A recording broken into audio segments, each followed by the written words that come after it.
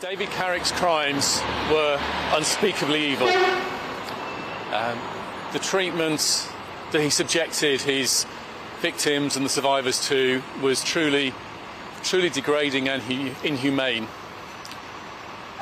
Their courage has been extraordinary in um, coming forward and um, helping today him be brought to justice.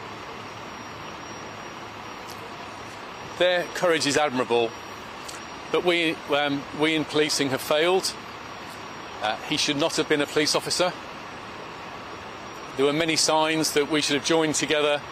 He should have been rooted out during his career as a police officer. Um, it's upsetting to be stood here talking about this, um, and I apologise again to the victims, and indeed I apologise to the women of London, many of whom I'm sure will be um, troubled and um, their trust in policing will be shaken by, shaken by these events. I've been really clear from day one as Commissioner four months ago that one of the challenges for me was to root out those that corrupt the integrity of the Metropolitan Police. And this case and others like it illustrate that challenge. Today is not a day for going through action plans. Um, today is a day for reflection and apologising to victims.